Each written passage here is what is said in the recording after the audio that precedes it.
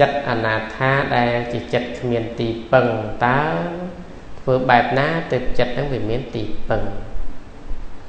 ទីពឹងនេះវាមានអត្តន័យទលំទលាយអាត្មាលើករឿង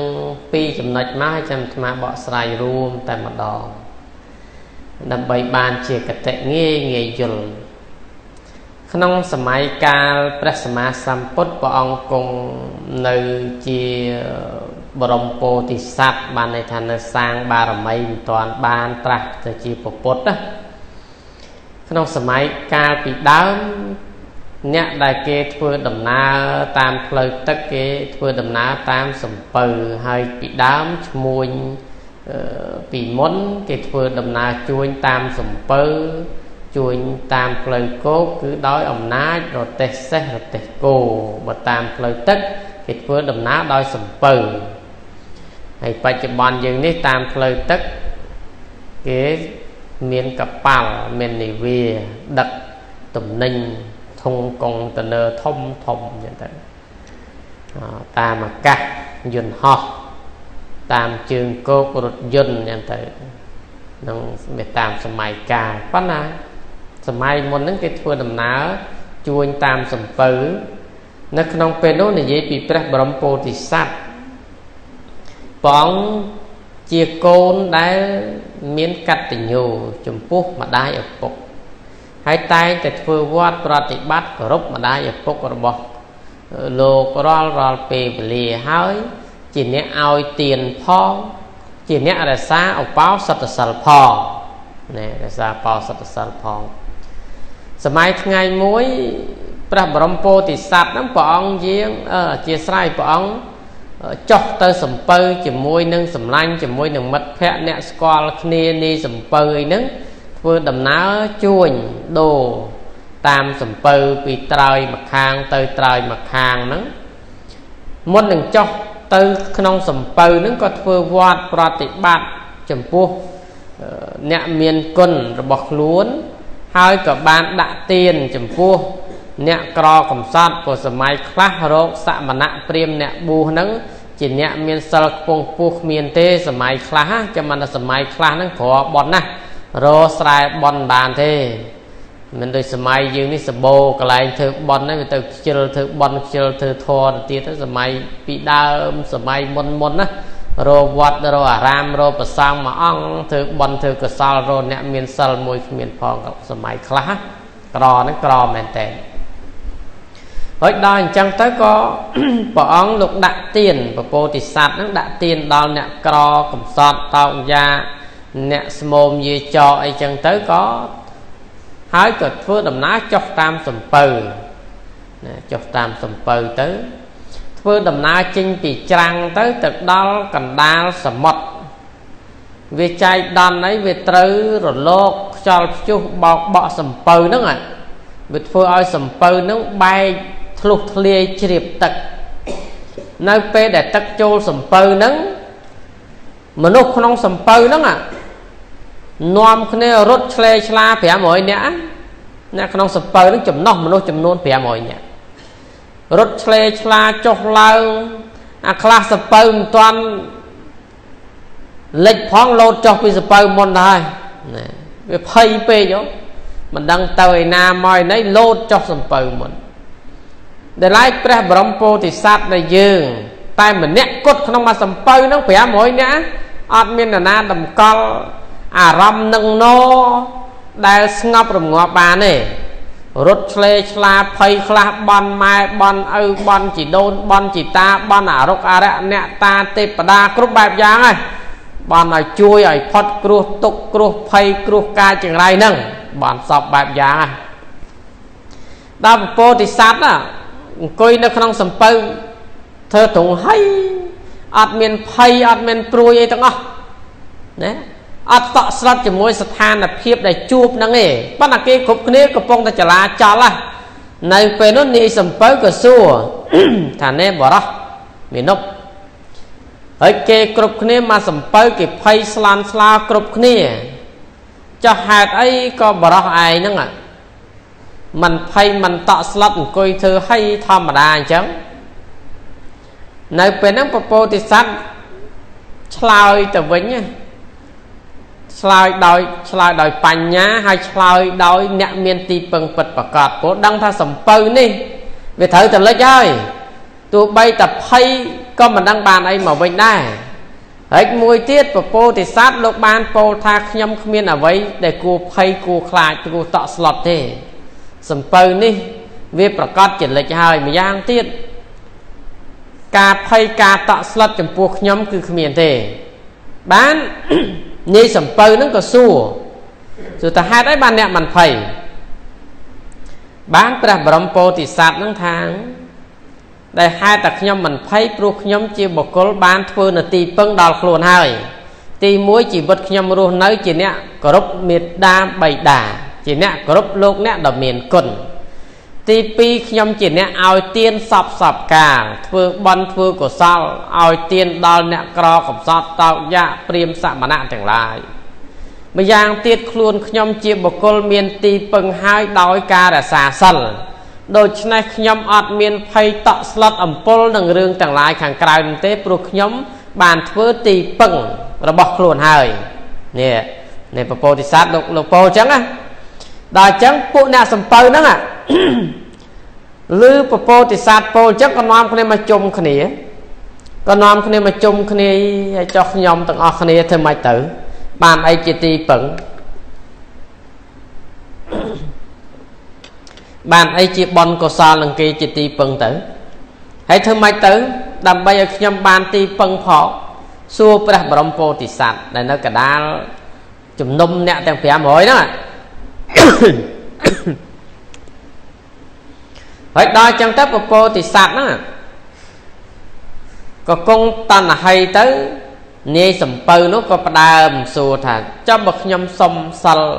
ដូចជាអ្នកផងតើខ្ញុំអាចរសាសិលបានទេថាបានហើយចឹងតើឲ្យខ្ញុំទាំងអស់គ្នាធ្វើម៉េចទៅថាឥឡូវនេះអ្នកទាំងអស់គ្នាតាំងចេតនាសមាទានសិលតអំពីខ្ញុំទៅណាដើម្បីបានជាទីពឹងពំអ្នកអាស្រ័យ ដែលជាទីបំផុតនៃជីវិតរបស់យើងហើយដល់ចឹងទៅក៏អ្នកទាំងអស់គ្នាព្រមទទួលសិលទាំងអស់គ្នាហ្នឹង500អ្នកក្នុងសពៅហ្នឹងប៉ុន្តែព្រះបរមពោធិសត្វបានពោលទៅថាសំពៅនេះគឺมันអាចនឹងតម្កល់ទុកយូរឲ្យតាំងនៅមមបានទេនឹងលិចហើយអញ្ចឹងយើងគ្នាច្រើនណាស់มันអាចនឹងសំសិលឲ្យគ្រប់ម្ដងទាំងអស់បានទេអញ្ចឹងត្រូវចែកចេញជា3ចែកចេញជា3ណា ជា3ផ្នែកសំសិល3កាត់ណាមួយកាត់ម្ដងមួយកាត់ម្ដង ក្រុមទី1ចាប់ផ្ដើមសមាទានសិលពពោធិសត្វនាំសំសិលណាទឹកដែលលិចបាតសំពៅហ្នឹងទឹកមកដល់ទឹមជង្គង់ណាទឹកដល់ទឹមជង្គង់ដល់តែពួកទី2សមាទានសិលបន្ត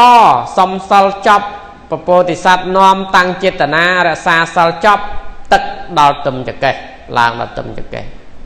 ណាដល់ទៅដល់ពួកទី3សំសិលចប់ទឹកឡើងដល់កកចាប់សពគ្រប់កាលណាសំពៅក៏លិចទៅ អ្នកទាំងអស់ហ្នឹង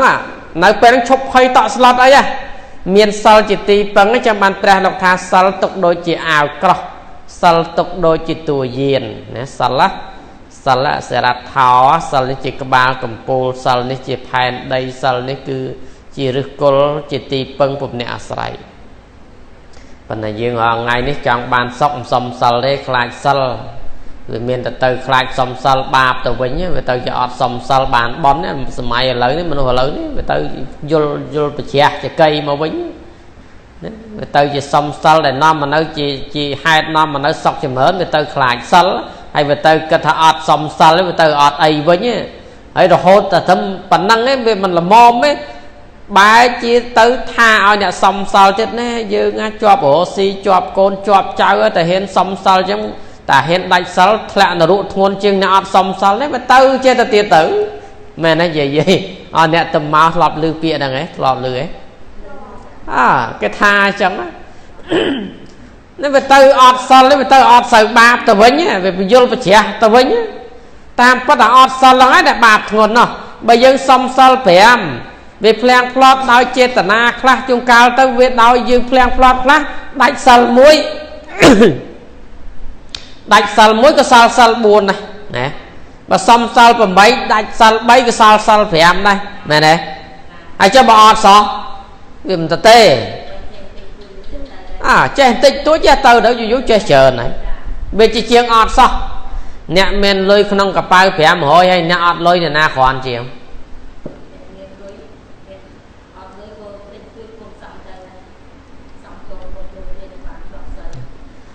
អ្នកអត់លុយសោះហើយអ្នកមាន500អត់ណាក៏គេមាន500ក្នុងកប៉ៅដែរបើមិនបានទិញអីក៏បានទិញស្ករគ្រាប់ពីរបីគ្រាប់បញ្ជក់តាមផ្លូវដែរមែនទេបើឯងអត់មានអីទៅទេទាំងអស់ណាមិនអញ្ចឹងអ500បើថាចំណូលមិនបានអីរាប់ម៉ឺនអីគេទេមួយថ្ងៃសំ500 500ដូចអ្នកខ្លះពីដើមគេថា សំលុយកាក់ដាក់កូនជ្រូកអីចឹងពីមុនណាតែឥឡូវគេសម័យធនាគារមានអាណាសំដាក់កូនជ្រូកទៀតឥឡូវនេះមួយថ្ងៃបន្តិចមួយថ្ងៃបន្តិចយូរយូរយូរបោកមកពេញកូនជ្រូករាប់លានគេទេហើយចាំបើមួយថ្ងៃអត់មួយថ្ងៃអត់អត់មានអីមិនទៅទេមែនទេ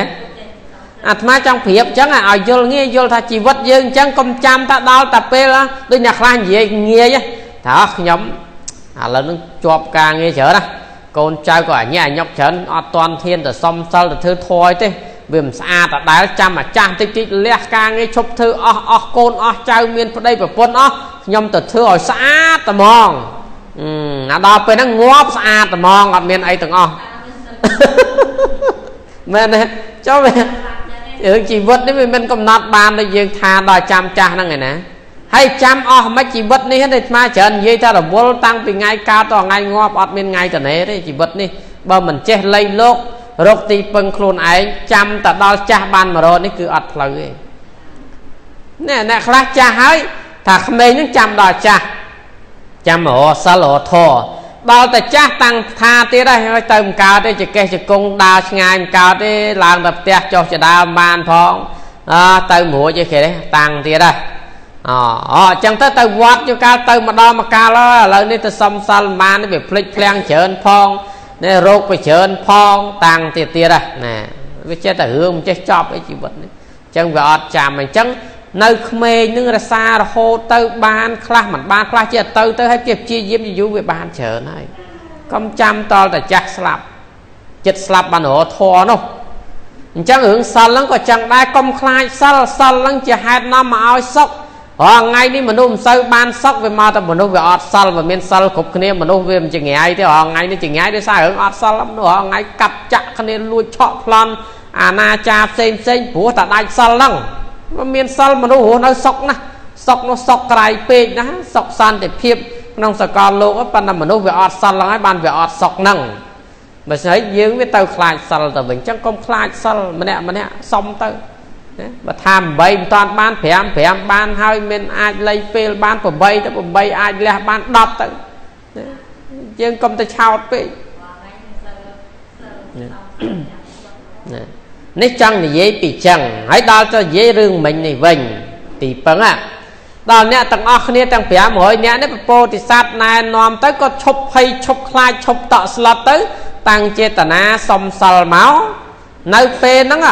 សំពៅក៏លិចទៅអ្នកទាំងអស់គ្នានឹងឈប់ជ្រួលច្បល់អស់ជីវិតទាំង500អ្នកហ្នឹងក្នុងសំពៅប៉ុន្តែក្រោយពីអស់អស់ជីវិតទាំង500អ្នកទៅដោយអានិសង្សសំសិលពេលហ្នឹងមានទីពឹងពេលហ្នឹងណាតកើតជាទេវតាទាំងអស់គ្នាណាតកើតជាទេវតាហើយព្រះបរមពោធិសត្វកើតជាប្រធាននៃទេវតានៅក្នុងគណៈទេវបុត្រទាំង500នេះតែ500នាក់ហ្នឹងតកើតជាប្រធាននៃគេនៃទេវតា នេះចង់និយាយពីទីពឹងគេទេពពោធិសត្វណាព្រះអង្គមានទីពឹងហើយព្រះអង្គអត់ភ័យអត់តក់ស្លុតទេដោយឡែកអ្នកតែ500អ្នកអត់មានទីពឹងគេទេភ័យតក់ស្លុតដល់ទៅរកទីពឹងខ្លួនឯងបានហើយឈប់ភ័យឈប់តក់ស្លុតដូចមនុស្សខ្លះរស់នៅរាល់ថ្ងៃអ្នកខ្លះខ្លាចខ្មោចភ័យហ៎ភ័យខ្មោចលងភ័យអរុកអរិយអ្នកតាកាច់ ទៅណាមកណាដេកយប់ដេកថ្ងៃភ័យអើយភ័យព្រួយអើយព្រួយអ្នកខ្លះខ្លាចខ្មោចលងមិនដែលទាំងឃើញមុខខ្មោចយ៉ាងម៉េចផងប៉ុន្តែខ្លាចនោះខ្លាចអូយខ្លាចនេះអ្នកខ្លះគេអត់មានខ្លាចហេតុអីបានគេមិនខ្លាចព្រោះគេទី1គេមានទីពឹងរបស់គេគេមិនខ្លាចអ្នកណាមកលងមកប្រឡាចទេហើយដល់អ្នកអត់មានមានទីពឹងភ័យខ្លាចព្រោះវាអត់មានអីជាទីពឹងពិតប្រកបភ័យខ្លាចខ្មោចណា ហើយតាមពិតយើងវាខ្មោចខ្លួនយើងរួចទៅហើយហ្នឹងរឿងហ្នឹងមួយទៅ មួយទៀតនិយាយអំពីសម័យក្រោយមកព្រះអង្គដែលលោកបានត្រាស់ដឹងណាថ្ងៃដែលព្រះអង្គចេញទៅបួសហើយបាន6វស្សាមកព្រះអង្គឡើងគង់លើក្រោមមលុបពោធិព្រឹកមកមេរាធិរាជទៅផ្ចាញ់ព្រះនៅក្រោមពោធិព្រឹកនៅពេលហ្នឹងដឹងមិនហ៎ នៅរាត្រីពេញបរមី15កើតខែវិសាខហ្នឹងព្រះអង្គលោកក្រោយពីសោយមធុបយាសរបស់នាងសុជាតា49ពំនូតហើយព្រះអង្គយាងទៅក្រុងគង់ក្រោមលុបពោធិព្រឹកប្រភ័ក្របែរទៅទិសខាងកើតថ្ងៃពេញបរមីហ្នឹងបលាំងពេជ្រផុសត្រពីក្រោមមក14ហាត់និយាយពីទេវតានាគគ្រុឌកន្ធប់ពួកព្រំទាំងឡាយនាំគ្នានាំផ្កា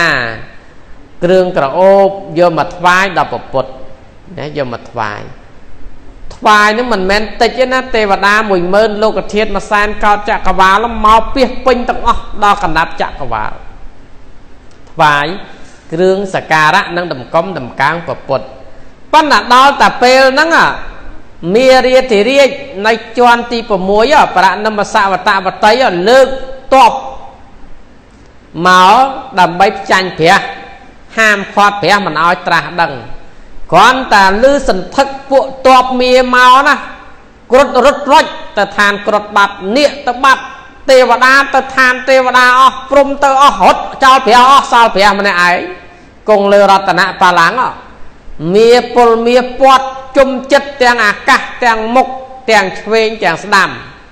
ទាំងទាំងក្រោយទាំងឆ្វេងទាំងស្ដាំមុខអត់ទេលើអាកាសណា ដល់តែពេលហ្នឹងប្រពុតដឹងលោកពិចារណាអីទេទេវតាទាំងអស់ភ័យខ្លាចខ្លាចអំណាចមីទេវតាព្រំកុំថាតែទេវតាព្រំក៏រត់ទៅឋានព្រំវិញដែរពេលពេលពេលហ្នឹងអត់តាន់មីមកនៅនៅជុំចិត្តព្រះហើយធម្មតាប៉ុន្តែដល់តែពេលហ្នឹងទេវតាព្រំនេះគ្រុតរត់ចោលព្រះអស់សល់តែព្រះអង្គម្នាក់ឯងដល់អញ្ចឹងដឹងមិនទេព្រះអង្គលោកពិចារណាថាម៉េចទេ លោកគង់លើរតនបលាំងម្នាក់ឯងពួកមាជុំចិត្តទាំងអស់ដែលផ្ចាលចាញ់ហើយហើយនៅពេលហ្នឹងគឺនិមិត្តភ្ជុះភ្លៀងដាវលំពេងងើកភ្លើងសត្រាវុធកាចសាហាវច្រើនណាដែលផ្ចាញ់ព្រះនៅពេលហ្នឹងលោកពិចារណានៅពេលហ្នឹងថាអោណទេវតាទាំងឡាយក្តីនាគទាំងឡាយក្តីគ្រុឌទាំងឡាយក្តីញាតទាំងឡាយក្តីមេត្តាអាត្មាអញក្តីបៃតាក្តីក្រុមញាតមិត្តទាំងអស់ នៃអាត្មាអញគ្មានទេក្នុងពេលនេះសូម្បីតែទេវតា ដែលគេមកចោមរោមអាត្មាអញច្រើនណែនណាន់តាន់តាប់ឥឡូវក៏រត់ចោលអញអស់ហើយសូម្បីតែញាតមិត្តសាច់សារហិតញាតសន្តានរបស់អាត្មាអញសូម្បីតែម្នាក់ក៏គ្មានដែរដែលជាទីពឹងរបស់អាត្មាអញក្នុងពេលនេះណាតើអាត្មាអញបានអីទៅជាទីពឹងណា បើគេរត់ចោលអញអស់ហើយនៅម្នាក់ឯងបានអីជាទីពឹងព្រះលោកពិចារណាណាដល់អញ្ចឹងលោកថាទីពឹងដតីសម្រាប់អាត្មាអញនេះគឺគ្មានទេ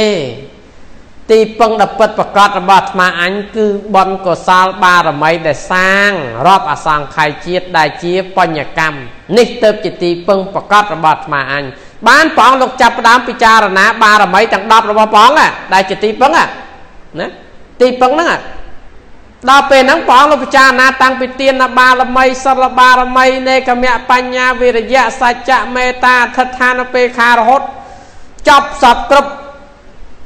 ព្រះអង្គលោកគង់តណ្ហៃអត់ខ្លាចមាយសំបីបានបន្តិចសោះអត់តក់ស្លុតទេឃើញទេព្រះអង្គជាអ្នកមានទីពឹងហើយមាផ្ចាលចាញ់យ៉ាងម៉េចក៏ដោយព្រះអង្គគង់ទៅហើយធម្មតាមិនរត់ចោលបលាំងក៏អត់នៅគង់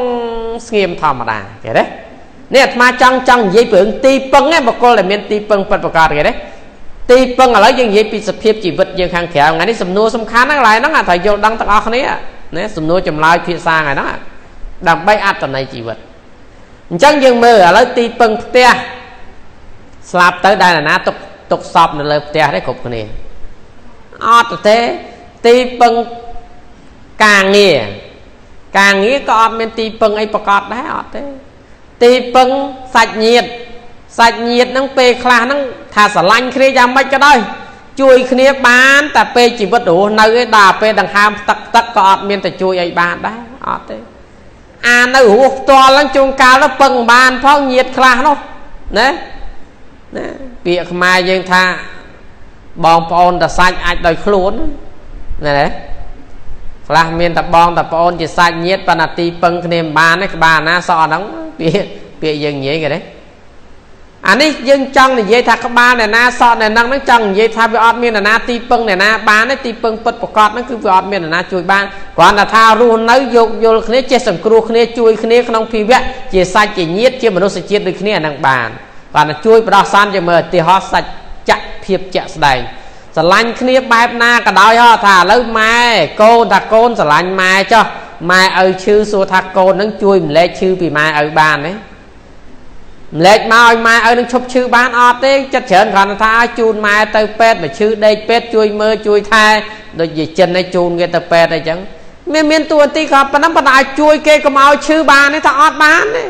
ម្លែកឈឺពីគេមកបានទេម៉ែស្រឡាញ់កូនមកថាកូនឈឺម្លែកកូននឹងមកកុំឲ្យឈឺបានទេថាអត់បានទេគេទេអញ្ចឹងឯងត្រង់ត្រង់ហ្នឹង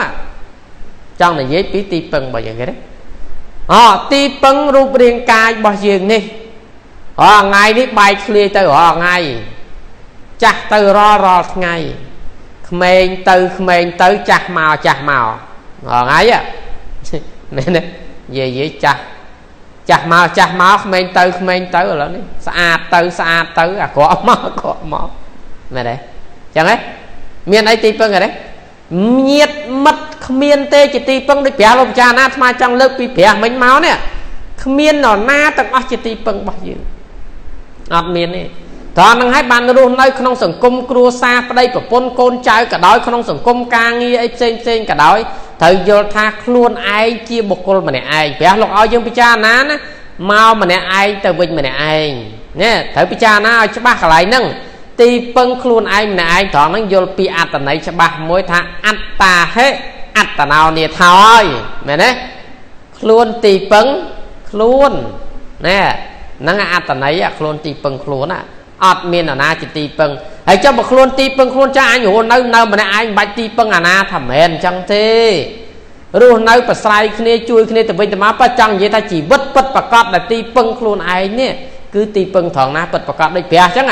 មែនតទីពឹងទេវតារុក្ខរៈអនតាបានដំបងមកគ្រប់បូជាក្រោយមកមាចុះមករត់ចោលព្រះអស់លីងមានអីសំបីតែម្នាក់គ្មានព្រះអង្គជាបុគ្គលម្នាក់ឯងប៉ុន្តែទីពឹងរបស់ព្រះអង្គពិតប្រកបគឺបារមីដែលបានសាងហើយអញ្ចឹងដោយសារម៉ោងច្រើនផងអាត្មាមិនចង់លើកវែងឆ្ងាយច្រើនទេប៉ុណ្ណឹងអាចស្ដាប់បានណាអញ្ចឹងសរុបមកវិញថាជីវិតរបស់យើងស្អីទៅជាទីពឹងពិតប្រកបថាសេចក្តីល្អហ្នឹងហើយជាទីពឹង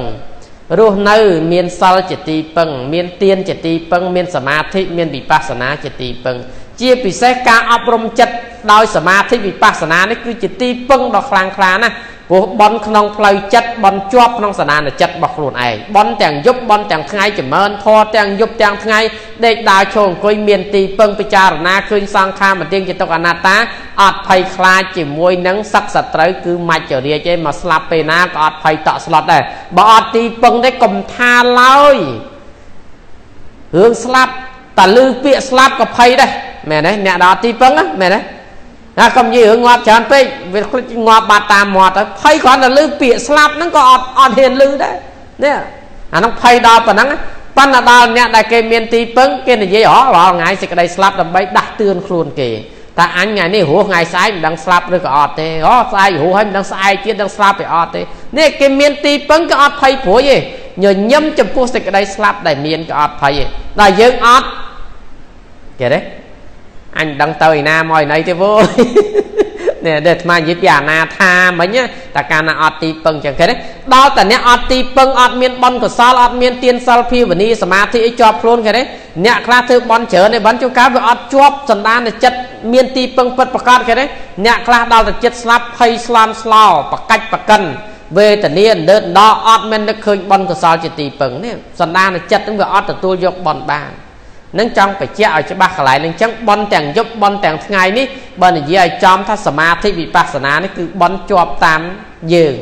រាល់រាល់ថ្ងៃដេកដើរចូលអង្គុយរលឹកពេលណាបនពេលហ្នឹងនេះជាទីពឹងដ៏ធំសម្រាប់ជីវិតរបស់យើងហើយសរុបឲ្យខ្លីមកថាទានសិលភាវនាដែលយើងគប្បីរក្សាសេចក្តីល្អរបស់យើងនឹងហើយជាទីពឹងពំនាក់អាស្រ័យដ៏ពិតប្រាកដក្នុងជីវិតយើង រូបរាងកាយនេះដាក់ចុះបែកធ្លាយថ្ងៃណាក៏ដោយក៏យើងអត់មានទៅស្ដាយសំណោះអត់មានទៅខ្វល់អីទេ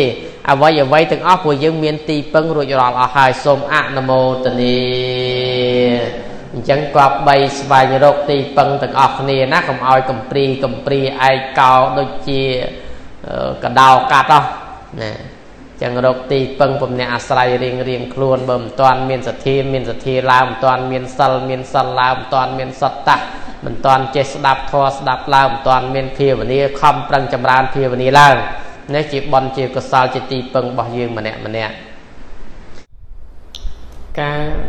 លើកឡើងរបស់ម្ចាស់សំណួរគឺព្រោះតែ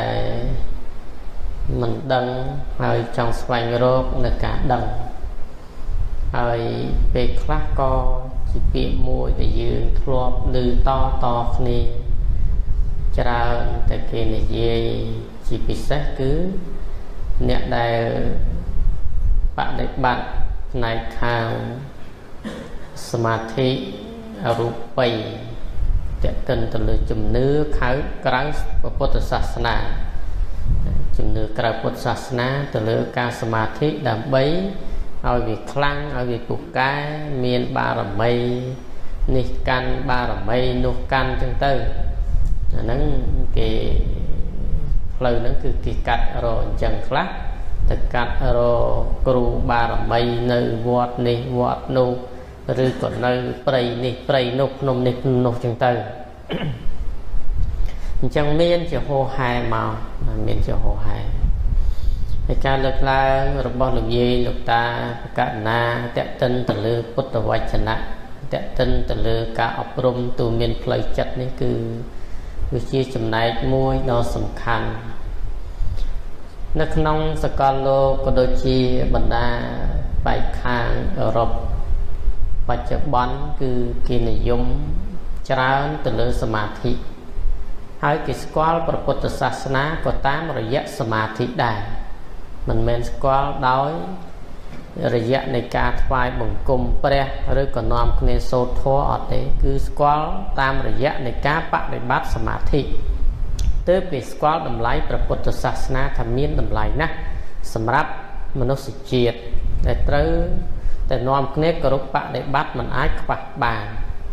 ព្រោះសមាធិនេះជាអង្គធម៌មួយកាលណាដែលបុគ្គលបានអប់រំទូលមានចិត្តល្អហើយជាមូលដ្ឋានគ្រឹះ សម្រាប់ទឹកចិត្តល្អកាលណាមនុស្សមានសន្តានចិត្តល្អការប្រព្រឹត្តក្នុងជីវិតជាប្រចាំថ្ងៃរបស់គេក៏ល្អហើយសង្គមណាត្រូវការមនុស្សអាក្រក់វាសិតត្រូវការមនុស្សល្អត្រូវការប្រជាពលរដ្ឋល្អត្រូវការមន្ត្រីរាជការល្អត្រូវការថ្នាក់ដឹកនាំល្អហើយល្អហ្នឹងវាកើតចេញពីណាវាកើតចេញពីចិត្តល្អហ្នឹងហើយ ហើយតែបចិត្តមិនល្អគេហៅថាសន្តានអាក្រក់អញ្ចឹង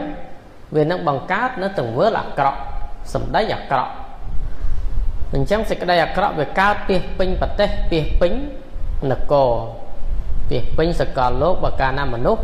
គ្មាននៅចិត្តល្អគ្មានសន្តានចិត្តល្អអញ្ចឹងបានថា ប្រទេសរីកចម្រើនដោយសារប្រជាពលរដ្ឋល្អល្អដោយសេចក្តីល្អល្អដោយចំណេះដឹងខ្ពស់ណាប្រទេសរីកចម្រើនហើយណាប្រទេសរីកចម្រើនប្រទេសរុងរឿងហ្នឹងគឺដោយសារប្រជារាស្ត្រនឹងឯងជាកត្តាស្នូលសំខាន់ហើយបើប្រជារាស្ត្រហ្នឹងអាលួយហើយឬក៏យុវជនយុវតីហ្នឹងអាលួយហើយ មេដឹកនាំបកែអាម៉េចហ្នឹងក៏មិនងាយដែរមិនងាយទេ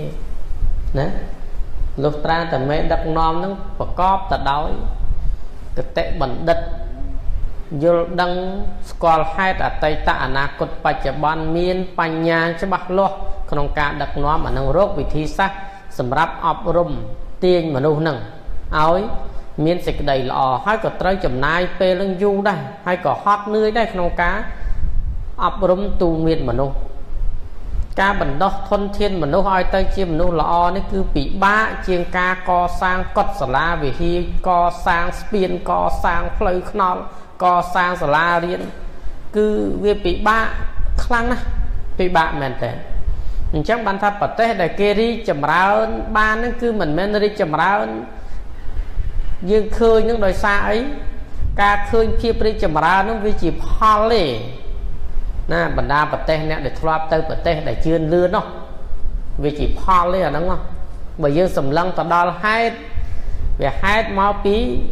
ប្រទេសហ្នឹងគេសម្បូរអ្នកចេះដឹងគេសម្បូរបណ្ឌិតសម្បូរអ្នកប្រាជ្ញមេដឹកនាំក៏អ្នកប្រាជ្ញអ្នកធ្វើការក៏សម្បូរបណ្ឌិតអ្នកប្រាជ្ញអញ្ចឹងហើយសមិទ្ធតែផលដែលកើតឡើងវាកើតពីធនធានមនុស្សវាមិនដែលយកមនុស្សទៅចោលមកសៀតធ្វើការកើតទេវាអត់ទេ អញ្ចឹងវាកើតពីធនធានមនុស្សជាជាហេតុអញ្ចឹងហើយកាលណាប្រជាពលរដ្ឋល្អអញ្ចឹងបានថាសង្គមជាតិរុងរឿងគឺដោយសាររាជមានចំណេះដឹង មានគុណធម៌គ្រូរុងរឿងក៏ដោយសារសិស្សមេត្តាបិតារុងរឿងក៏ដោយសារកូនចៅប្រុសស្រី ទើបរុងរឿងទៅបានមិនមែនរុងរឿងម្នាក់ឯងកើតទេអាហ្នឹងអញ្ចឹងអ្នកដឹកនាំប្រទេសក៏អញ្ចឹងមិនមែនរុងរឿងតែម្នាក់ឯងកើតទេបើគ្មានការចូលរួមពីប្រជានរាអញ្ចឹងបានពាក្យខ្មែរលោកថានាយកខ្លែងហើត្បិតខ្យល់ពាក្យពាក្យខ្មែរលោកថាខ្លែងហើត្បិតខ្យល់នាយថ្កើងត្បិតពុលរក្សាសុខឲ្យ សម្លឆ្ងាញ់គ្រឿងស្វាមីរុងរឿងដោយសារភរិយាជាពាក្យពាក្យបុរាណយើខ្មែរអញ្ចឹងខ្លែងវាមិនដែលសុកសុកវាហើទេ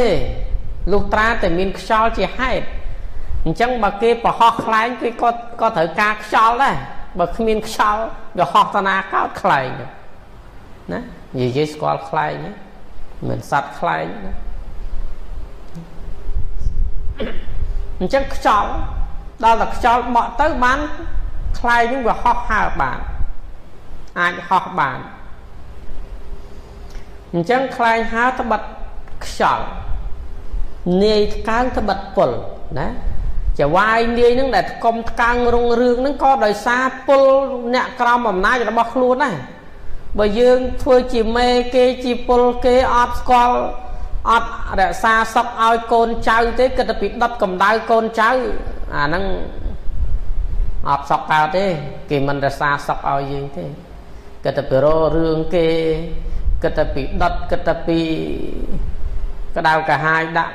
កូនចៅនេះនេះអត់សុខកើតទេមិនមិនរងរឿងទេអត់រងរឿងណាអញ្ចឹងហើយនាយថ្កើងក៏បិទពុលណាបិទពុល អញ្ចឹងហើយវាជាកត្តាសំខាន់ណាហើយសម្លឆ្ងាញ់ព្រោះតែគ្រឿងផ្សំគ្រឿងត្រូវឆ្ងាញ់ណាបើដាក់គ្រឿងមិនត្រូវมันឆ្ងាញ់ទេទៅអត់រួចទេស្វាមីរុងរឿងដោយសារភរិយាជាមិនភរិយានឹងមិនឈួតទេមិនភរិយានឹងជាណា ភរិយាជានឹងបានន័យថាភរិយាដែលមានចរិយាមយាទត្រឹមត្រូវចេះលើកដំកើងប្តីណាប្តីជាអ្នកនាំមុខកិច្ចការងារធ្ងន់ស្រាលគ្រប់បែបយ៉ាងប្រពន្ធជាជើងក្រោយត្រត្រង់កិច្ចការងារផ្ទះសម្បែងមើលទុកដាក់ទ្រព្យសម្បត្តិកូនចៅប្រុសស្រីឲ្យល្អជាចំហរបស់ប្តីជាអ្នកជួយតុបតែងនៅកិច្ចការងាររបស់ប្តីជាអ្នកជួយជ្រោមជ្រែងអាហ្នឹងប្តីរងរឿងហើយ បើភរិយាអត់មយាតគាត់ទៅពីចង់បានតលុយប្តីបើមិនបានលុយឲ្យជេបចោអាគីបាញ់អាត្រូវក្របអាងាប់អាអន្ទះបាញ់អាហ្នឹងលហាមមួយជីវិតហើយមិនរស៊ីអីឃើញណាញ៉ាថាភរិយាខ្លះភរិយាមុខលុយបានលុយមុខខ្លាញ់អត់លុយមុខសេះអាហ្នឹងអញ្ចឹងអាប្តីធ្វើការចង់ងាប់ចង់រស់ឈឺជាអញដឹងសំខាន់បានលុយឲ្យអញចាយរាល់ថ្ងៃអញ្ចឹងអាហ្នឹងអញ្ចឹងអាហ្នឹងអាហ្នឹងមួយជីវិតហ្នឹងរងកម្មហើយប្តីហ្នឹងអាប្តីរងកម្មអាហ្នឹងអញ្ចឹងមកពីធ្វើការហត់នឿយរបាយទឹកគ្មាននៅផ្ទះហើយធ្វើម៉េចស្កំថ្កើងបានស្វាមីហ្នឹងទៅចំណុំចំណោមគេអត់ចូលចំណុំចំណោមគេមិនຕົកមុខឲ្យប្តីត្រូវជេរត្រូវបចោត្រូវររឿង មិនស្គាល់ថានៅផ្ទះឬក៏ក្រៅផ្ទះអីទេ គឺពួយអាទាំងអស់ហើយធ្វើម៉េចរងរឿងកើតអញ្ចឹងបានលោកថាភរិយាជាហ្នឹងគឺភរិយាមិនមានមយាទអាក្រក់មានមយាទល្អចេះមើលកូនចៅចេះមើលខោអាវប្តីសំរុំមិនសំរុំមិនចេញទៅធ្វើការបាយទឹកនំចំណីអាត្មាឃើញធ្លាប់ឃើញទៅបន់នៅគេម្ដងនៅភ្នំពេញតកូលគេនោះសុំសរសើរ ប៉ុន្តែហ្នឹងមិនដឹងថាម៉េចទេព្រោះមិនបាននៅជាប់លាប់ទេព្រោះបានទៅបន់នៅគេហដ្ឋានហ្នឹងកម្មវិធីគឺចង់និយាយថាពេលដែលទៅបន់ផ្ទះគេហ្នឹងហើយពីបន់ពីអីរួចរាល់ចឹងទៅប្រគេនលោកឆាន់លោកអីរួចរាល់ចឹងទៅប្តីគេមកពីធ្វើការមិនដឹងថាធ្វើការទេព្រោះ និយាយទៅអាត្មាគត់ត្មងអារឿងចម្រឿនគេនឹងអត់ចេះត្មងជួបអីពីណាក៏ដោយមិនមិនចូលចិត្តអាទម្លាប់ដេញដោលសួររឿងគេបើអ្នកខ្លះមិនបកកែណាឲ្យតែជួបមកពីណាទៅណាសុខសบายទេ មានកូនចៅប្រហែលអ្នកធ្វើការអីបានប្រាក់ខែប្រហែលអាយុប្រហែលហើយមិនដល់សុខក្រៅសួរតែអញ្ចឹងអញ្ចឹងស៊ីស្ដីឲ្យ ស្រុកយើងនេះទម្លាប់អាក្រក់ពេលខ្លះគេមិនចង់ប្រាប់ហ្នឹងក៏ជីករឹសជីកគល់សួរគេចូលចិត្តទៅសួរគេហើយក៏សួរធ្វើការនេះហើយបានប្រាក់ខែប្រហែលសួរទៀតហ่ะកូនចៅប្រហែលចេះតែសួរទៀតហ่ะអាយុប្រហែលគេថាប្រហែល70ចិត្តប្រហែលទៅពេកហើយ ហើយអាត្មាមិនទៅដែរសួរអីទេដល់មិនទៅសួរមិនចង់ដឹងរឿងរបស់គេហើយយើងទៅចង់ដឹងអីដឹងតែកន្លែងណាដែលយើងត្រូវដឹងទៅបានវាគ្មានអីត្រូវទៅចម្រឿនរឿងផ្ទាល់ខ្លួនគេគ្រួសារគេគេធ្វើការអីរស៊ីអីកូនចៅប្រមាណអ្នកអីអត់ទៅចាំបាច់ទៅចឹងទេហើយដល់ចឹងទៅឃើញប្តីគេមកយីប្រពន្ធគេទៅទទួលអាត្មាសរសើរទៅទទួលមិនទៅជួយយកកតាពីចុះពីឡានមក យកទុកដាក់ហើយយកអាវប្តីយកទៅពយួរទុកដាក់ត្រឹមត្រូវលើកបាយយកមករៀបចំឲ្យប្តីលើកបាយមិនមែនលើកធម្មតាទេណាយល់ទេមិនមែនលើកអស់ស៊ីដល់អើយឆ្អិនហើយទុកហើយក៏ញ៉ាប់ស៊ីដល់អាងយកទៅរៀបទុកដាក់មិនមែនអញ្ចឹងទេបៀបសតុនហ្មងលើកឡាលើកបាយមកគ្របទុកស្រួលបួលហើយលើកប្តីមកលើកដាក់លើតុកហើយ ជូនប្តីត្រឹមត្រូវអាត្មាតសើមែនទេម្នាក់ហ្នឹងនារីម្នាក់ហ្នឹងតសើមែនទេមើលទៅប្រហែលមិនងាយមានទេចឹងចឹងប្រហែលប្រហែលហ្នឹងចេញទៅធ្វើការយឺតមកមិនតាន់បាយហ្នឹងមិនស្រួលហ្នឹងស្រួលនាំអាកាចាស់អីទៅឯណាមកឯណាយឺតយ៉ាវមកស៊ីបាយស៊ីទឹកទៅចាំពេញមកផ្ទះនេះទៅបោះចេះបញ្ចោតណាហើយចឹងចឹងរករឿងឲ្យមិនកើតធ្វើមិនរកកន្លែងសុកគឺ អាត្មាតសាម្នាក់ហ្នឹងហើយនិយាយពីពីតសាមួយទៀតថងថាប្តីកំពុងតែហូបបាតដើរទៅណាទេណានៅអង្គុយជាមួយប្តីហ្នឹងរហូតដល់ប្តីហូបបាយអស់ហើយ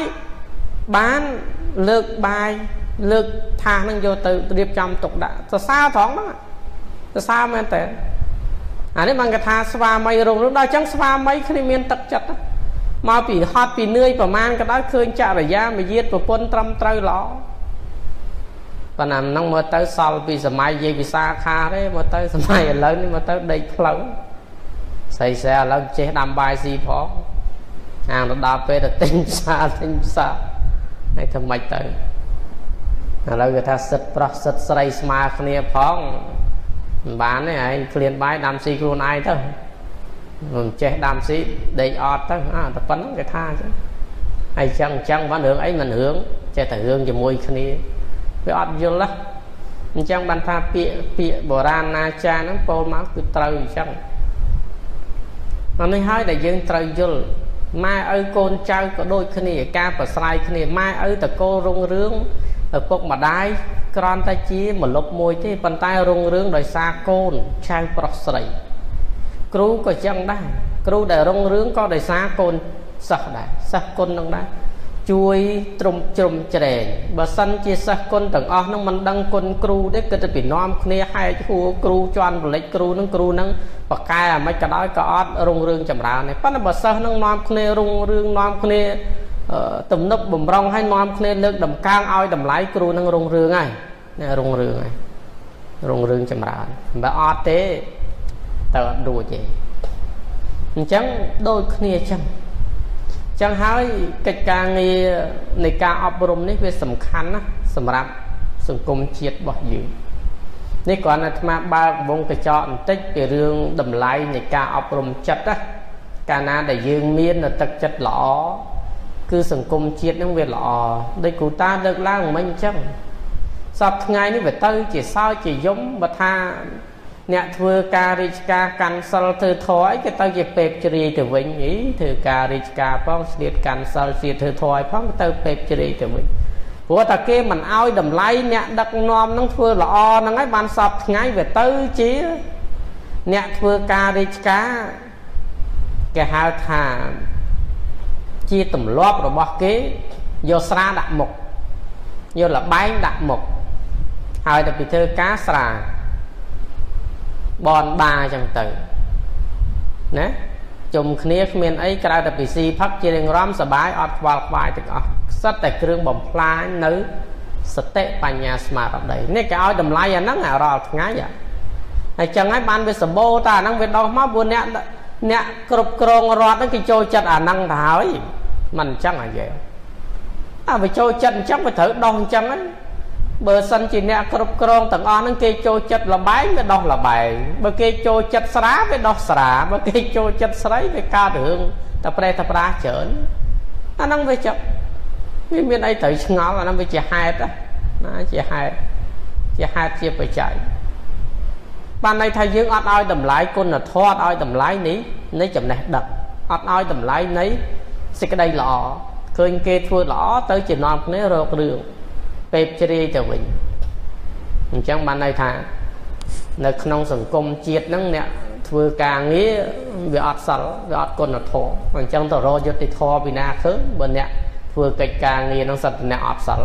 ទៅរកគុណធម៌សិលធម៌ឯណាបានអញ្ចឹងក្នុងប្រទេសណាក៏ដោយឲ្យតែប្រព្រឹត្តនៅក្នុងចំណុចទាំងអស់ហ្នឹងมันចម្រើនទេអញ្ចឹងហើយបាននៅក្នុងសកលលោកគេផ្ដោតទៅលើការអប់រំនឹងជាធំ ណាជាធំហើយម្យ៉ាងទៀតការអប់រំចិត្តនឹងជាកត្តាសំខាន់បើសិនជាអ្នកកាន់ការងាររອບកាន់ការងារប្រទេសនឹងគឺសំខាន់ណាស់ការអប់រំចិត្តព្រោះអីតើកាលណាយើងទប់ចិត្តយើងមិនបាន យើងមិនមានចិត្តធ្ងន់មិនអាចអប់រំចិត្តយើងបានទេយើងធ្វើការតាមអារម្មណ៍ត្រូវស្រឡាញ់ត្រូវស្អប់តាមចិត្តរបស់យើងដោយមិនមានពំនឹងនៃទឹកចិត្តទេងាប់គេងាប់ឯងហើយបើអ្នកកាន់ការងារធំណា ចុះត្រូវចិត្តទៅក៏រីករាយទៅប៉ះមិនត្រូវចិត្តឆេះគេឆេះឯងត្រូវសម្លាប់គេសម្លាប់ឯងទៅប្រេះទៅប្រាស់តាមចិត្តឯងដោយប្រើអំណាចរបស់ខ្លួនឯងណាណាអញ្ចឹងបើអ្នកធ្វើធំហ្នឹងគឺត្រូវមានអង្គធរហ្នឹងគឺការអត់ធន់ហ្នឹងខ្ពស់ហើយអត់ធន់បានហ្នឹងក៏ដោយសារមានសមាធិហ្នឹងចឹងបានសមាធិនេះជាឧបករណ៍មួយដ៏សំខាន់ណាស់សម្រាប់ខួរក្បាលមនុស្សក្នុងការទប់ពំនឹងឲ្យនឹងណក្នុង ក្នុងសុភវិនិច្ឆ័យក្នុងការងារមួយមួយឲ្យវាត្រឹមត្រូវនឹងជាកត្តាសំខាន់ណាស់ហើយយើងអត់សូវឲ្យតម្លៃអ្នកកាន់ពុទ្ធសាសនាយើងស្រុកខ្មែរទៅម្ល៉េះរៀងក្រន់បន្តិចពីមុនវិញឮថាសមាធិវិញនាំគ្នាតេះដៀលនាំគ្នាពេបជ្រាយនាំគ្នាមើងងាយទៅទៀតអត់ស្គាល់នេះថាកាន់ធម៌5ស្គាល់ធម៌5 ដល់ឥឡូវហ្នឹងឃើញពីក្រៅពីក្រៅគេនាំគ្នានិយមច្រើនវាទៅឯងនាំគ្នានិយមតាមគេក្រៅទៅវិញហើយតាមពិតធម៌ហ្នឹងវាមានយូរទៅហើយហើយយើងអត់នាំគ្នាធ្វើណាអត់នាំគ្នាធ្វើឥឡូវហ្នឹងឃើញថារៀងផុសផលច្រើនវាមានខ្លះហ្នឹងក៏ត្រូវផ្លូវទៅខ្លះក៏ខុសផ្លូវចឹងទៅអាហ្នឹងវាចឹងហើយអ្នកត្រូវផ្លូវហ្នឹងក៏វាប្រសាវាត្រឹមត្រូវទៅអ្នកមិនត្រូវផ្លូវគេហៅថាក្រុមបែកឆ្វេងបែកកម្មដ្ឋានចឹងទៅ ហ្នឹងវាប៉ុណ្ណឹងឥឡូវសរុបនៃសំណួរមកវិញដោយសារមកពេលលើសផងអាត្មាឆ្លើយខ្លីណាបញ្ចប់ចោះរឿងកិច្ចបដិបត្តិនៅក្នុងសមាធិនេះបើយើងពោលតាមកិច្ចបដិបត្តិនៅក្នុងពុទ្ធសាសនាគឺមិនមានផ្លូវក្នុងឯណាមកប្រាប់មកអីទេព្រោះសមាធិនេះគឺមានអារម្មណ៍ជាដែនកំណត់ត្រឹមត្រូវច្បាស់លាស់ណាស់ក្នុងអារម្មណ៍នៃការចម្រើន មិនមែនចេះតែអង្គុយរវើរវាយតាមតការនឹកឃើញអត់ទេអ្នកដែលមិនបានសិក្សាច្បាស់លាស់តែងតែអង្គុយរវើរវាយតាមការនឹកឃើញរបស់ខ្លួនហើយជាពិសេសអ្នកបដិបត្តិមួយចំនួនมันបានស្វែងយល់អំពីថាតើការចម្រើនសមាធិនឹងគេត្រូវធ្វើដូចម្ដេចហើយគេចម្រើនដើម្បីអីនៅក្នុងពុទ្ធសាសនាសមាធិចម្រើនដើម្បីធ្វើឲ្យចិត្តស្ងប់ ដើម្បីលះកាត់នៅចិត្តបាបដើម្បីធ្វើបញ្ញាឲ្យកើតឡើងនេះជាទិសដៅរបស់សមាធិវិបស្សនាមិនមែនធ្វើទៅដើម្បីឲ្យវាពូកែដើម្បីឲ្យបារមីនេះសន្ធិដ្ឋបារមីនោះកាន់បារមីនោះចូលអត់ទេស្មាធ្លាប់ឃើញធ្លាប់ឃើញញ៉ាថាបារមីបុរាណណាគេសមាធិបែបបុរាណគេអង្គុយសមាធិគ្រូសមាធិគេគេអង្គុយជ្រាមក្បាលសិស្ស ឲ្យសិស្សអង្គុយទៅគេអង្គុយពីក្រោយទៅគេដាក់ក្បាលជ្រាមពីលើគេហើយគេអង្គុយពីក្រោយដូចជើងចិនបញ្ចូលកម្លាំងធាតឲ្យគេថាបញ្ចូលធរជាជឿដែរណាណានេះគេសិតឯណាបើកពលឹងបើកដួងកែវគេណាទៀតណាស្លាប់ឃើញអានេះមិនមែនជាសមាធិពុទ្ធសាសនាទេអានេះសតតែជាលក្ខណៈខុសគេថាបែកឆ្វេងហើយខុសផ្លូវអានេះសមាធិ មិនមែនជាផ្លូវព្រះទេគឺបែកខាងអរូបីហើយសមាធិរឿងបារមីកាន់អ្នកតានេះចូលអីពួកសមាធិអញ្ចឹងអញ្ចឹងងាប់ទៅគ្មានទៅសួនពៀននេះទេតកើតពួកអសូរកាយទាំងអស់ពួកហ្នឹងស្លាប់ទៅព្រោះយកពួកអសូរកាយជាគ្នាពួកសមាធិហ្នឹងគេថាមច្ឆាសមាធិហ្នឹងសមាធិខុសដើម្បីបានបារមីគ្រូនេះតោងបារមីគ្រូនេះកាន់ខ្លាំងបកែអញ្ចេះខ្លាំងបកែអញ្ចោះ ស្លាប់ទៅគ្មានទៅណាទេពួកហ្នឹងមានតែទៅកើត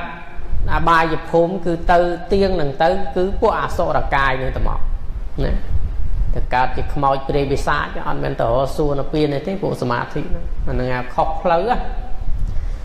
ហើយអ្នកបដិបត្តិខ្លះត្រង់ផ្លូវដែរបើយូរយូរលងចូលក្នុងវិបស្សនូបកលេសទៅក៏ចូលទៅផ្លូវនឹងដូចគ្នាដែរណាវិបស្សនូបកលេសចូលនៅក្នុងអោភាសោចូលក្នុងញាណៈ ចូលនៅក្នុងបៃតិសុខៈបស្សទ្ធិអតិមកខោបពាហោចូលក្នុងឧបឋានណាងអពេខានិកន្តិហើយជាពិសេសហ្នឹងគឺវាចូលនៅក្នុងលក្ខណៈមួយដែលស្ថិតនៅក្នុងអោភាសោពួកពួកខាងហ្នឹងណាអោភាសោហ្នឹងមិនថាពន្លឺដ៏ខ្លាំងខ្លាពួកគេអង្គុយគេយកនៅញៀនគេហ្នឹងគឺ គេបញ្ចូលរូបមុនអាគមគ្រូគេនឹងឲ្យឃើញបល័យឃើញយន់ឃើញកថាឃើញបារមីគ្រូនេះចង្អុលប្រាប់ផ្លូវចេះប្រាប់ផ្លូវចុះលងក្នុងហ្នឹងអញ្ចឹងហើយវាខុសផ្លូវខុសផ្លូវរបស់វិបស្សនាជាប់ក្នុងវិបស្សនា